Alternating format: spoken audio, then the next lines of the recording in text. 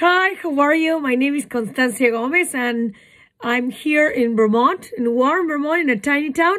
And I really want to share with you the Power 10 uses that we do at my house and my family, my friends, with uh, the doTERRA oregano oil.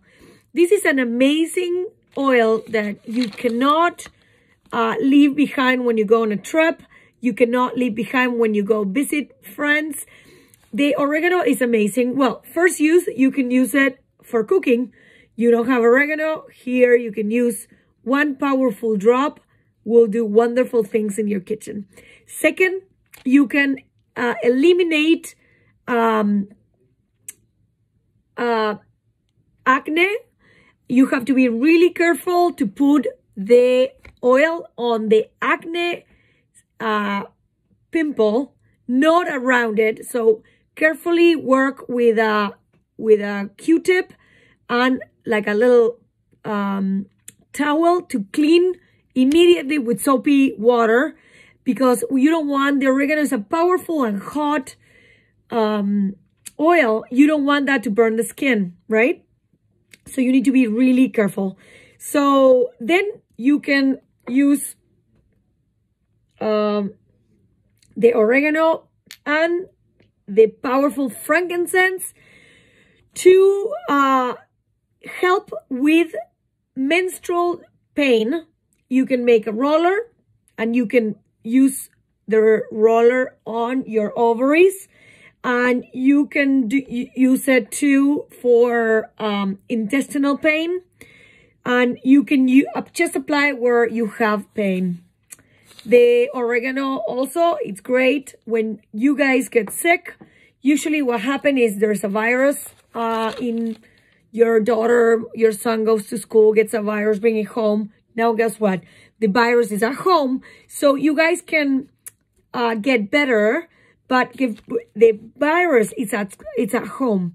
So you put lemon and two drops of, oh, excuse me, two drops of oregano on your diffuser and that you i have four um diffusers around the house and i just put it around the house and that diffuser cleans the air and gets rid of that virus that actually you're getting sick again on the same virus that you already kind of work through your body to get out of your body. Now it's in your house.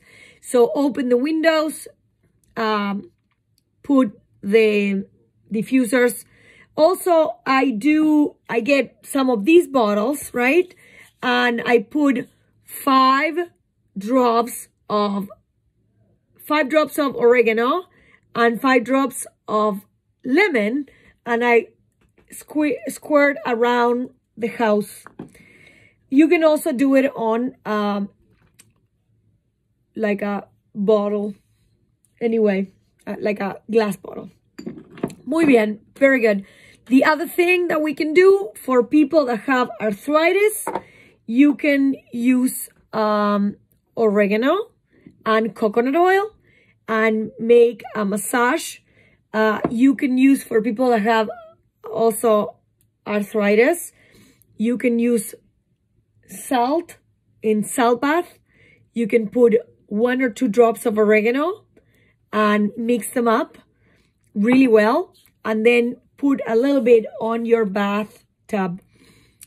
You need to be careful. Do not get it straight on your skin. You can put in a big bathtub and be careful with touching your eyes, right? Um, the oregano is great for the fungus uh, of the people that do sports and for the nail fungus also.